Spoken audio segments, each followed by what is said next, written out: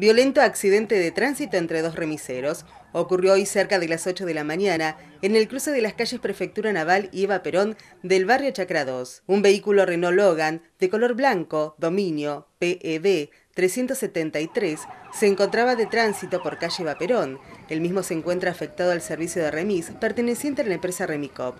Al llegar en la intersección de la calle Prefectura Naval, fue colisionado violentamente en su lateral izquierdo. El rodado que transitaba por la calle Prefectura era un Chevrolet modelo Aveo chapa patente JJB 373, perteneciente a la empresa Remis Chacra. El mismo era guiado por Raúl Parra. Esta persona se percató tarde de la circulación del otro remis. En el lugar quedó marcada una frenada de 20 metros.